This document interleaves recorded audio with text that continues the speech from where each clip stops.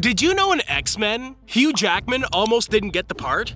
It's hard to see anyone else playing the role of lead character in Mutant Wolverine and X-Men, but it was actually nearly the case. Initially, Scottish actor Dougray Scott had been cast to lead the film, but due to shooting on Mission Impossible 2 overrunning, director Bryan Singer was forced to find a last-minute replacement. Fellow Australian actor Russell Crowe, who was the first choice to play the role, recommended Hugh Jackman, who was relatively unknown at the time, to play Wolverine. Thankfully, he did land the role, as it's really hard seeing anyone else fill those shoes.